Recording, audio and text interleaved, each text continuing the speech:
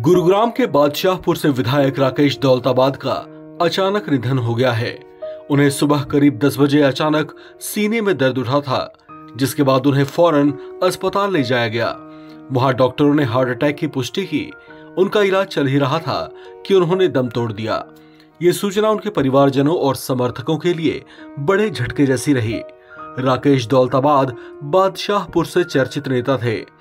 इन्होंने इसी सीट से बतौर निर्दलीय चुनाव जीतकर अपना लोहा मनवा दिया था। इनका अचानक चले जाना न सिर्फ़ परिवार के लिए, बल्कि हरियाणा की नायब सिंह सैनी सरकार के लिए भी किसी बड़ी क्षति जैसा है। दरअसल पहले से ही हरियाणा विधानसभा में संख्या बल के संकट से जूझ रही नायब सिंह सैनी की सरकार को निर्दलीय विधायक राकेश दौलताबाद का समर्थन प्राप्त था। ऐसे में उनके आकस्मिक निधन से हरियाणा सरकार को भी झटका लगा है।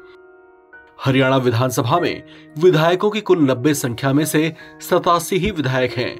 इनमें एक सीट निर्दलीय विधायक राकेश दौलताबाद के निधन, मनोहर लाल और रणजीत चौटाला के लोकसभा चुनाव लड़ने की वजह से खाली हो गई है।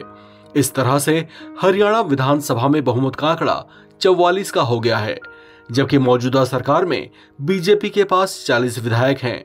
इसके अलावा, हरियाणा लोकहित पार्टी के विधायक गोपाल कांडा और एक अन्य निर्दलीय विधायक के समर्थन के साथ, इनके पास कुल 42 विधायकों का साथ है। लेकिन ये संख्या बल भी बहुमत के 44 से दो विधायक कम है। वही कांग्रेस के पास कुल 30 विधायक हैं। तीन निर्दलियों के समर्थन के साथ, हरियाणा विधानसभा में कांग्रेस के पास कुल 33 विधायकों का समर्थन हो गया है। इसमें बड़ा खेल ये हो रहा है कि जेजेपी के 10 विधायक और आईएनएलडी के अभय चौटाला समेत एक अन्य निर्दलीय विधायक न्यूट्रल हैं, यानी वे किसी के पक्ष या विपक्ष में नहीं हैं।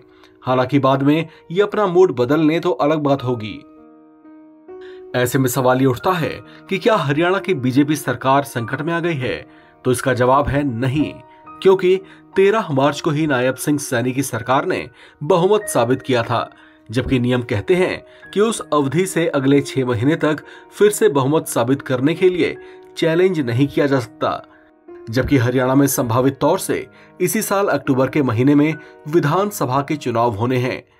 ऐसे में मौजूदा सरकार पर संकट ना के ही बराबर हैं। इस खबर में फ़िलहाल इतना ही। बाकी अपडेट्स के लिए आप बने रहें एनबीटी ऑनलाइन के साथ।